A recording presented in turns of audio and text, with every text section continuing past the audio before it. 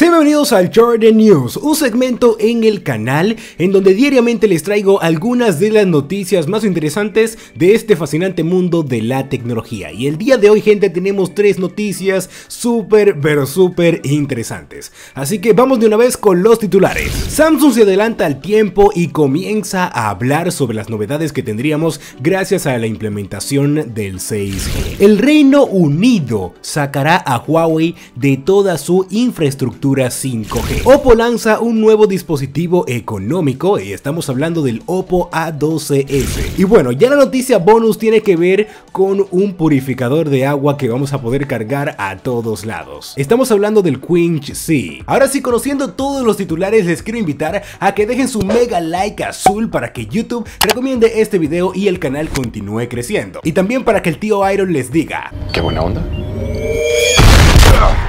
Ahora sí, vamos a comenzar de una vez.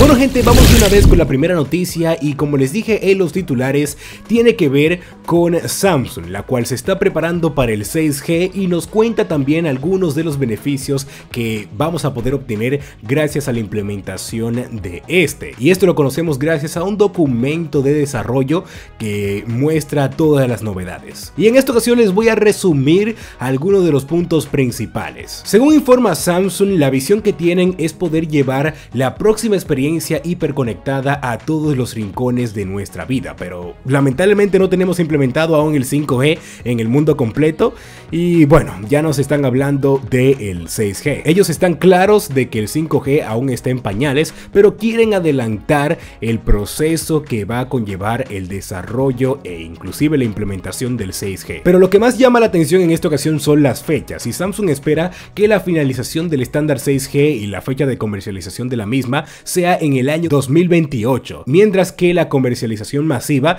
ellos esperan que llegue en el 2030. La compañía también nos dice que eh, tanto los humanos como las máquinas serán principales usuarios del 6G. Esta se caracteriza por la provisión de servicios avanzados como la realidad extendida verdaderamente inmersiva, holograma móvil de alta fidelidad y también la réplica digital. Como pueden ver, gracias a estos tres beneficios, el ámbito de la medicina o también las presentaciones en nuestro trabajo se va a facilitar bastante. Ahora bien, ya entrando en un apartado un tanto más técnico y que muchos de ustedes quieren conocer, es que Samsung dice que el 6G ofrecerá una velocidad máxima de 1000 GB por segundo y una latencia inferior a los 0,1 milisegundos, o sea 50 veces la velocidad de datos máxima y la décima parte de la latencia del 5G. Si quieren conocer más detalles aquí debajo les voy a dejar el documento y también el link a al newsroom de Samsung para que se empapen muy bien sobre este tema.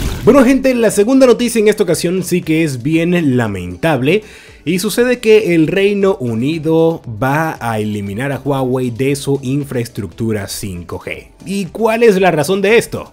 Bueno, principalmente seguridad. Asimismo lo ha dicho este gobierno en un comunicado que les voy a dejar aquí debajo y dice que la compra de cualquier equipamiento 5G de Huawei queda bloqueado a partir del próximo 31 de diciembre de este año y se instaurará también la obligación de eliminar cualquier equipo de la empresa relacionado con el 5G antes de finalizar el 2027. Como les dije anteriormente, esta decisión se ha tomado principalmente por la seguridad del país, tal y como declaran en el comunicado el país se rige por las sanciones que Estados Unidos ha impuesto a Huawei y también por los consejos técnicos que ha obtenido de sus propios expertos en ciberseguridad. Muy lamentable esta noticia realmente, sabemos que Huawei es una empresa súper grande, muy innovadora y que ha trabajado arduamente en la implementación y desarrollo del 5G. Bueno gente, ya la tercera noticia en esta ocasión tiene que ver con el lanzamiento recientemente del el Oppo A12s, un dispositivo bien básico en el apartado de los internos, pero que llega a un precio bastante económico. Así que vamos a darle brevemente un vistazo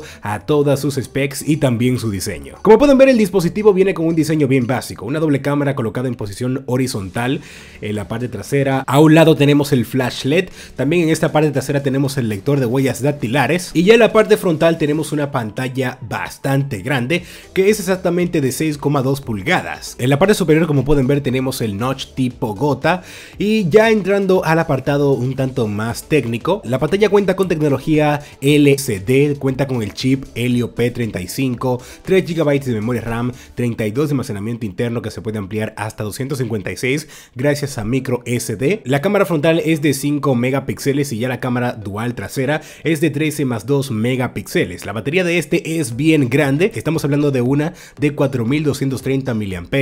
El sistema operativo es Android 9.0 bajo Color OS 6.1 y ya hablando sobre el tema que a todos nos interesa que es el precio, este ha salido oficialmente en Cambodia a un precio de 129 dólares. Comenten ustedes aquí debajo qué opinan sobre este nuevo dispositivo gama de entrada que ha presentado Oppo. El precio sí que está bien económico realmente. Bueno gente, ya la noticia bonus del día de hoy tiene que ver con el Quench C. Este es un gadget portátil y barato que va a permitir convertir el agua del mar en agua potable. Sí que me ha llamado muchísimo la atención esto, ya que posiblemente este gadget podría eliminar la escasez de agua en el mundo. Como pueden ver, este cuenta con un diseño bien bonito y que también es muy portable. Pero la principal pregunta en esta ocasión, ¿cómo puede este pequeño aparato hacer que el agua del mar sea potable? Y bueno, para conseguirlo, la compañía ha revelado que combina un filtro triple que elimina sólidos en suspensión,